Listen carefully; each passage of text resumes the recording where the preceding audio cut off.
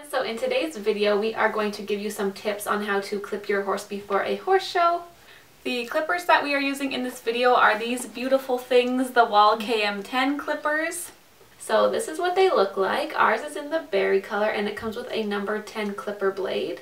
These clippers come with a really long cord so you don't have to worry about charging batteries or anything and it makes the clippers really light. It also has two different speeds.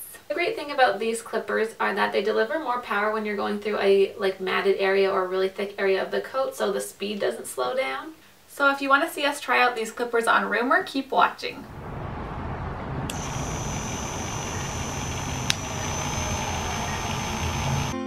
So this is how we clean up Rumor before a show. If your horse isn't already body clipped, it's a good idea to turn the clippers backwards like this to blend the hair better and prevent super bad clipper marks. So we just clip the back of his legs and his fetlocks where they're super hairy. And then around the coronet band.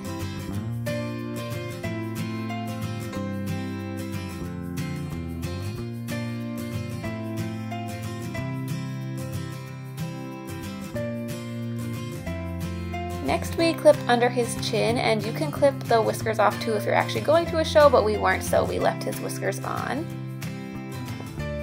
Now we're doing the bridle path, and at this point you can also do the ears if they're super fuzzy.